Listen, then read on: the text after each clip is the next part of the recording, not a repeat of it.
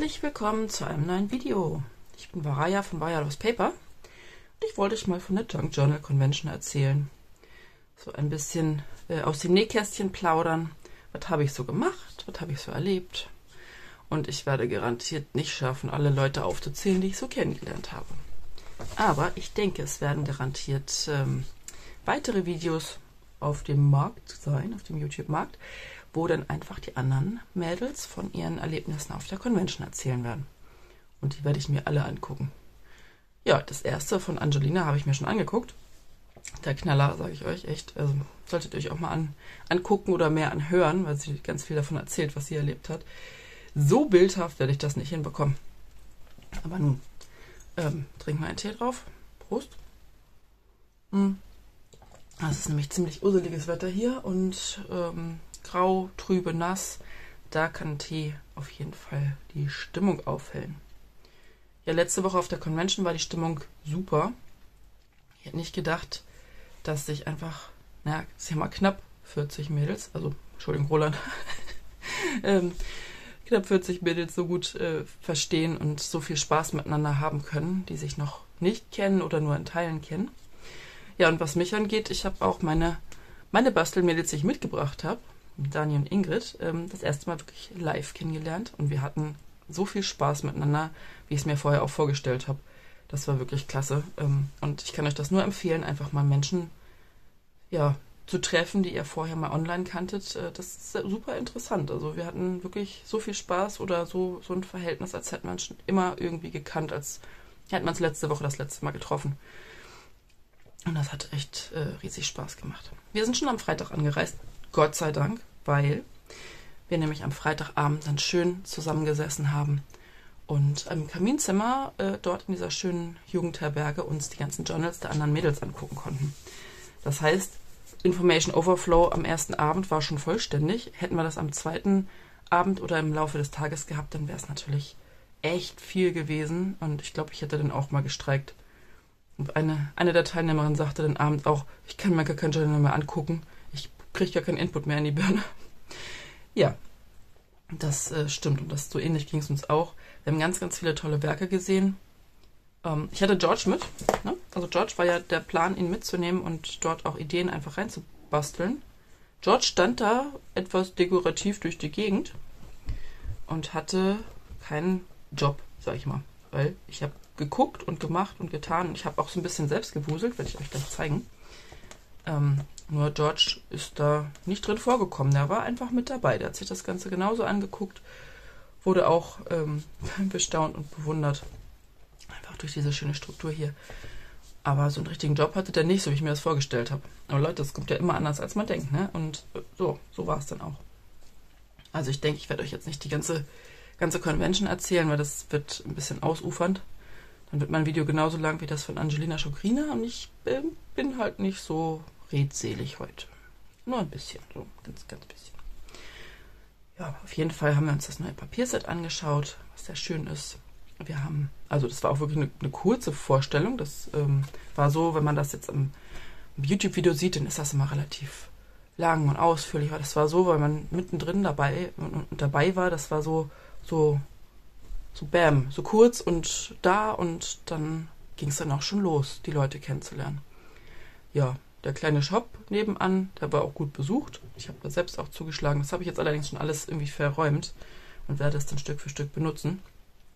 Das kann ich euch jetzt nicht zeigen.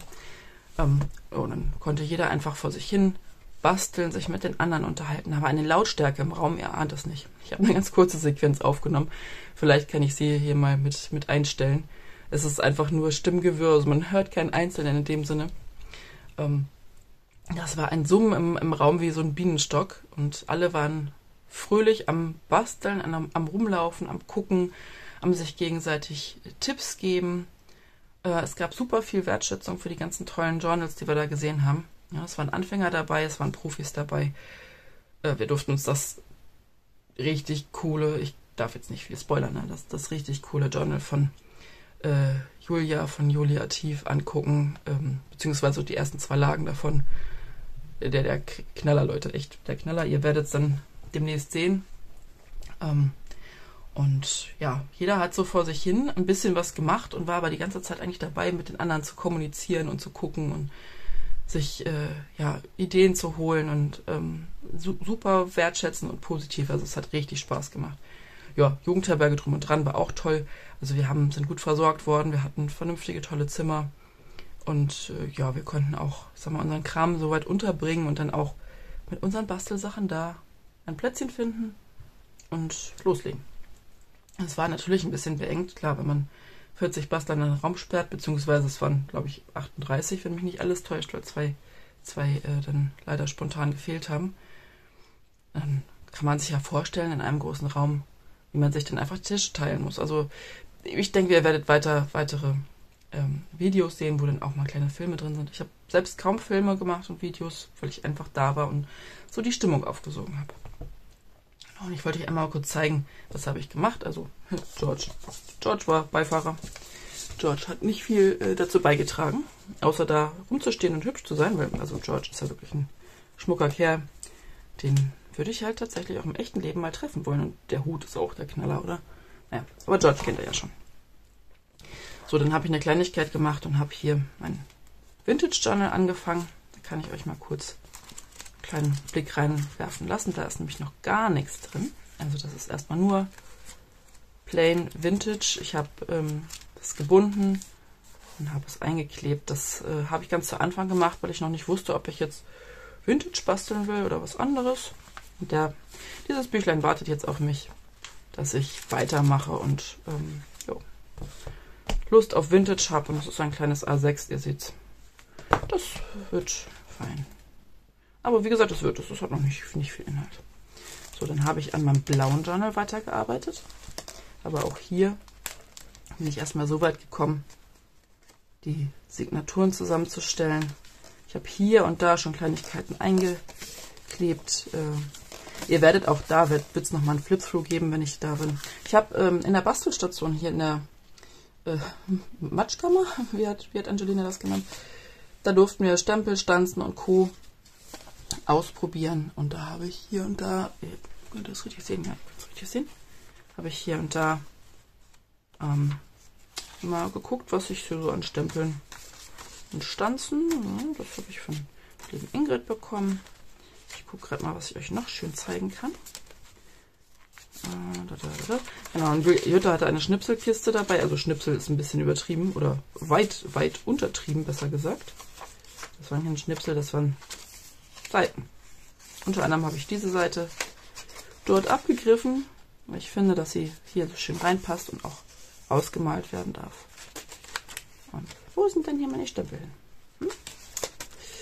Wo sind die Stempel hin? Wo sind die Stempel hin? Wir haben noch bestimmt hier irgendwo da.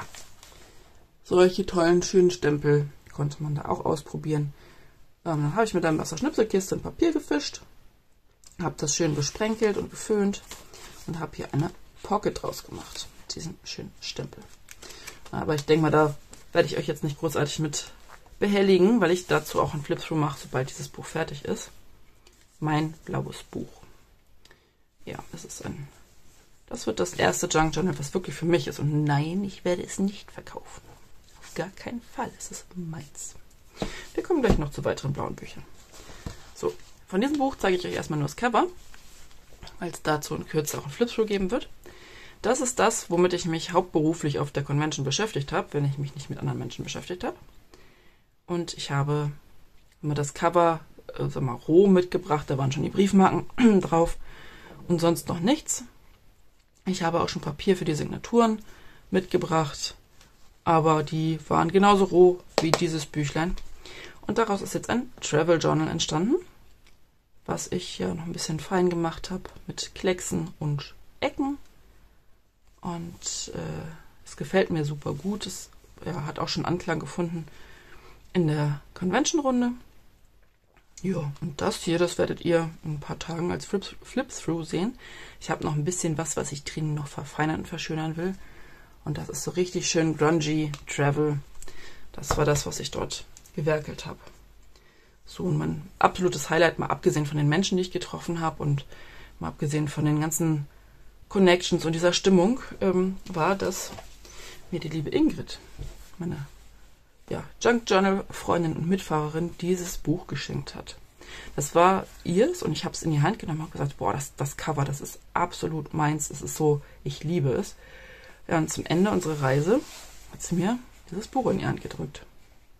Also ich weiß nicht, ob hier rüberkommt, wie cool das ist. Ähm, es ist einfach, es fühlt sich an, es ist der Knaller. Also es ist so, ich möchte es den ganzen Tag so streicheln, anfassen, in der Hand haben. Das wird mein zweites blaues Buch. Und das wird auch meins. Das werde ich auch im Leben nicht aus der Hand geben. Und äh, ursprünglich geplant war das von ihr als Mermaid Journal. Und es wird ein bisschen andere Bedeutung bekommen, aber ich werde sehr, sehr viel von dem, was sie zusammengestellt hat, werde ich weiter benutzen. Und das wird ein blaues Buch und ich glaube, das wird mein, mein magisches Buch, weil das passt einfach. Das passt wie Faust aufs Auge, dieses magische Buch.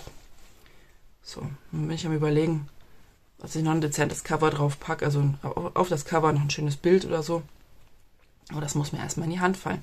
Deswegen werde ich mich erstmal mit dem Inhalt beschäftigen und irgendwann wird mir das Richtige für, für dieses äh, Cover hier noch ein Schmuck in die Hand fallen, was hier drauf möchte. Da bin ich mir auch sicher. So, das hier ist mein absolutes Highlight von dem Convention-Wochenende. So, jetzt hat Ingrid dann noch einen draufgelegt und hat mir auch noch, muss ich jetzt mal hier runterfischen, kam ich gestern nach Hause und habe einen leider durchnässten, aber glücklicherweise nur von außen durchnässten Umschlag gefunden mit noch mehr Schätzen, die genau in dieses blaue Buch oder vielleicht auch in beide blaue Bücher reinwandern wollen. Ich habe es noch nicht weiter ausgepackt. Ich werde es jetzt gleich ganz genüsslich tun, aber ohne Kamera. Werde ich diese kleinen, süßen, tollen Schätze und auch diese Jelly Plate Sachen, die sie mir gemacht hat, werde ich gleich mal ganz in Ruhe auspacken und nochmal alles so ganz genüsslich ähm, mir nochmal durch den Kopf gehen lassen. So. Das war mein, mein Junk Journal Convention Wochenende. Das war der absolute Knaller. Der, äh, also war richtig, war ein Riesenspaß. Und äh, ja, ich werde es wieder tun oder würde es gerne wieder tun. Es kommt ja immer darauf an, ob man Karten bekommt, weil das war ja auch ziemlich schnell vergriffen, muss ich sagen. Da hatten Ingrid, Dani und ich hier wirklich Glück und haben nachts noch, wir haben einen Bastelabend gehabt zusammen, einen virtuellen und haben dann nachts die Karten noch gekauft. Wir waren eh dabei und haben nur gesagt, oh, wir gucken ab und zu mal, ob die Karten schon online sind. Und die waren nicht online, die waren nicht online. Und ganz kurz bevor ich ins Bett gegangen bin, ganz kurz vorher, zack, waren die auf der Funkelkram-Website online. Dann habe ich die beiden noch schnell angerufen und gesagt, so, ich kaufe jetzt Karten. Und so kamen wir zu der Convention. Und deswegen hoffen wir, dass wir auch beim nächsten Mal Glück haben und mit dabei sein können. Das hat echt Spaß gemacht. Ich kann es auch jedem empfehlen. Wobei, wenn ich es jetzt jedem empfehle, dann ist die Wahrscheinlichkeit, Karten zu bekommen, noch kleiner. Naja, wie dem auch sei, es hat riesig Spaß gemacht und empfehlen kann ich es trotzdem. Auch wenn ich gerne dabei sein möchte und gerne wieder Karten haben möchte. So, kleiner Wermutstropfen für mich war, dass ich wusste, dass ich in einer Woche nach der Convention ein geliebtes Pferd gehen lassen muss. Das hat für mich so ein bisschen, ja, nicht nur ein bisschen, das hat für mich die Stimmung getrübt innerlich ähm, dennoch war es super, dass ich da war und dass ich diese tolle Stimmung einfach auch in mich aufsaugen konnte. Das hat mir auch geholfen, einfach, einfach so ein bisschen, ähm, ja, wie soll ich sagen, die, das, was auf mich zukam, einfach mal für ein paar Stunden wegzupacken und einfach wirklich so im, im Bastelglück mit den, mit den ganzen anderen Teilnehmern zu sein.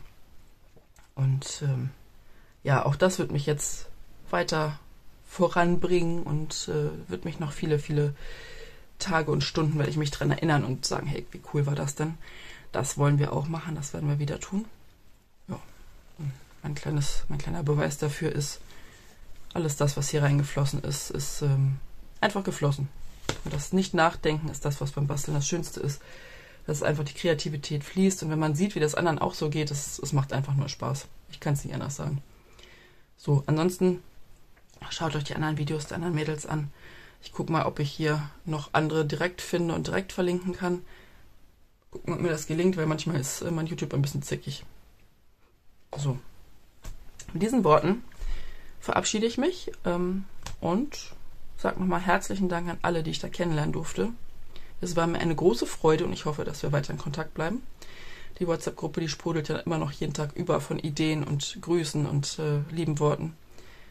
Und ja, wir haben ganz viel Vernetzung gefunden Ich hoffe, das bleibt so und wir sehen uns alle wieder. So, und nun freut euch mal auf dieses Flip-Through. Und ich sag mal, bis demnächst in diesem Kino.